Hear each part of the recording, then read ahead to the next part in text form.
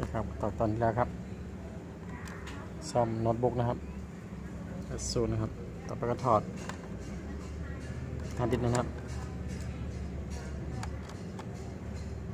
ไปเรื่อยนะครับกับช่างแมว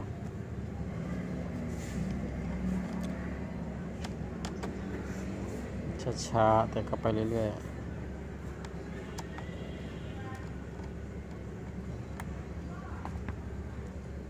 ปล่อยสีตัวนี้ออกนะครับก่อนจะซ่อมเราก็ต้องลืม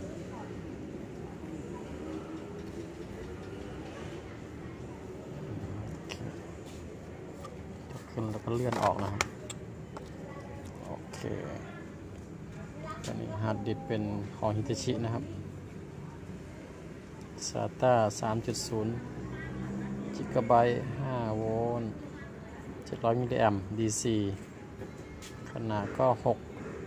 640จิกะไบต์ Make in Thailand นะครับ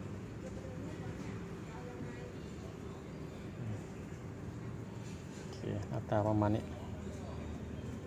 ดิดโอเค แยกไว้ ต่อไปก็ไล่ถอนน็อตนี่นะติดซ่อนอยู่ในไรท่านี้เดี๋ยว ไล่ถอดน็อตยึดฝานี่ออกนะครับขอถอดแป๊บนึงตอนนั้นออกให้หมดครับ แต่ตัวนี้จะไม่ยอมออกนะ ตัวนี้นะครับ แล้วก็ตัวนี้ไม่ออกเคาะแล้วก็ไม่ออกนอนออกหมดนะครับน็อตมีหลายไซส์นะครับต้องจำ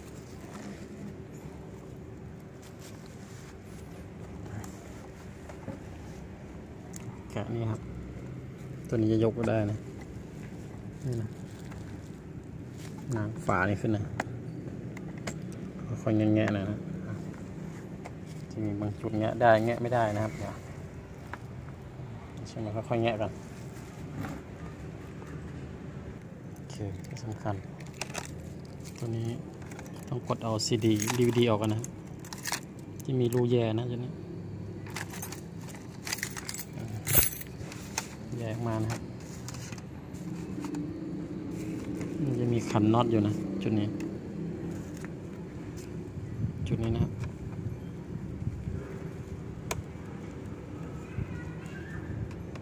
ก็หอต้องหัวเล็กสุดๆเลยตัวจิ๋วๆเลยนะครับ ไม่ออกโอเคทีนี้ใช้ไขควงพิเศษอันเล็ก ค่อยแกะนะครับง้างเอานะครับถ้าต้องแงะนี่ก่อนนะครับเนี่ยเอาคีย์บอร์ดนี่ก่อนถอดสายออกนะครับ มีสายแพรชุดนี้โอเครับมีปัญหาเรื่องเสียงเพลงนะครับ ต้องปิดปิดหยุดหยุดกันนี้ออกน็อตประมาณหนึ่งสองสามหนึ่งสองสามหกตัวนะครับ ปัญหาก็คือนี่จะหลุดนะครับตัดสายนี่ตัดสายสายนี้นะครับ นี่จะหลุดมาด้วยนะครับ เก่ากรอบนะครับ แล้วก็ยกออกนะครับ แล้วเขาจะออกนะครับอะโอเคครับก็แกะดีวดีออกด้วยนะครับ ก็สรุปเจอสาเหตุนะครับ สายแพรนะครับ สายแพรชุดนี้ ไม่ค่อยดีนะครับ